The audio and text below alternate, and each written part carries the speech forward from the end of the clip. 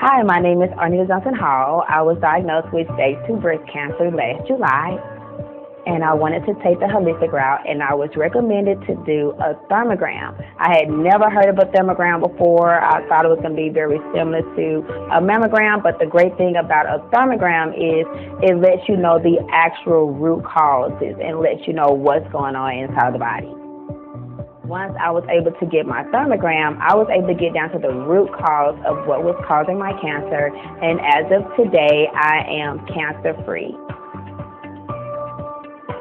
If you are in need of a thermogram, I highly recommend the Thermography Center of Dallas. They are very knowledgeable, they make you feel comfortable, and they are here to help. Schedule your thermogram today at thermographycenter.com.